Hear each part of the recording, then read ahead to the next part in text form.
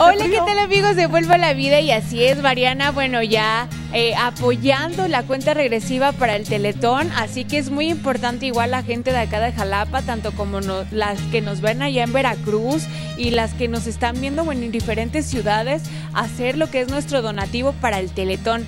Y oigan, el día de hoy, bueno, en este frío amanecer aquí en Jalapa, porque hace bastante frío y en lo particular en el lugar en donde estamos, porque estamos rodeados de bosque, específicamente del bosque de niebla, y es que les quería comentar que el día de hoy me encuentro desde un lugar muy hermoso que es el Jardín Botánico Francisco Javier Clavijero que se encuentra pues a unos 7 minutos más o menos del centro de Jalapa.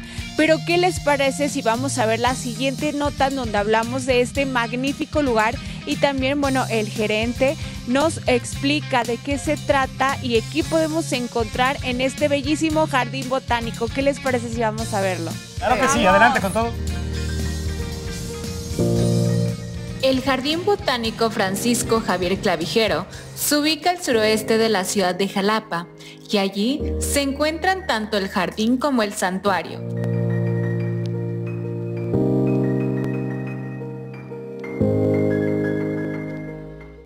Este lugar debe su nombre al célebre historiador veracruzano del siglo XVIII, es un maravilloso mosaico viviente que representa diversos rostros, olores y colores al paso de las estaciones del año.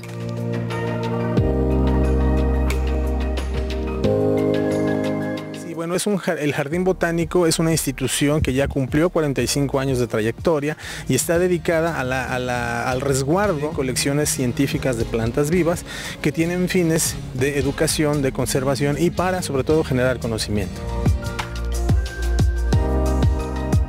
Es un excelente lugar para estar en contacto con la naturaleza y de fácil acceso. Bueno, Estamos ubicados en el número 351 de la carretera Antigua Coatepec y pueden agendar una visita guiada a grupos de 10 personas mínimo al 2288 42 18 27.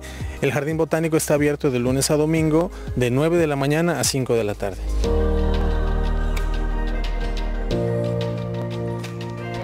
Y asimismo, podemos realizar diferentes actividades como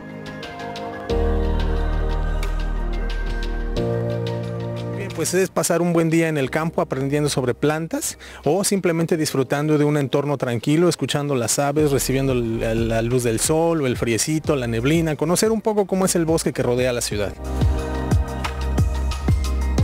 se animen a visitarnos. Estamos muy cerquita de Jalapa para conocer eh, un entorno que no van a encontrar en ninguna otra área verde, en ningún otro parque de la ciudad ni del estado. Eh, lo que van la experiencia que van a recibir aquí va, va a ser única y lo van a disfrutar muchísimo. Anímense, visítenos.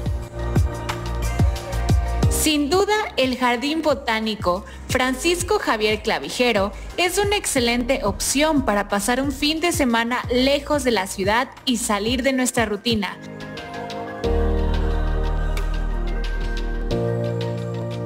Con imágenes de Esteban Pérez para Vuelva a la Vida, Samantha Martínez.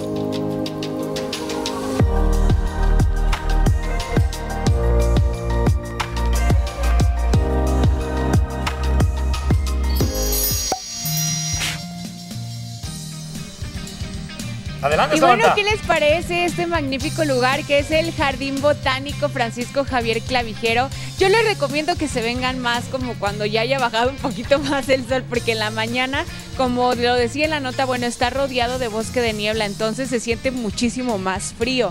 Pero este, bueno, este jardín es ideal también como para aprender de las plantas. También hay un mariposario, eh, hay un mariposario hermoso para aprender de estas eh, animalitos que se alimentan precisamente de nuestras plantas o de las plantitas. Vamos a encontrar, bueno, muchísima de, muchísimos de estos animalitos como son las mariposas y también, bueno, aprender de las plantas, aprender de los cuidados de los que a los mejor nos gusta tener plantitas en las casas, cómo cuidarlas, la forma correcta de hacerlo, cuántas veces ponerlas al sol. Es una forma en la que aquí también te van a enseñar a cuidar tu medio ambiente y tu entorno también. Aparte de que, como ya lo mencionabas, pues bueno, puedes pasar un rato agradable porque incluso este lugar es muy idóneo como para hacer un picnic o algo así.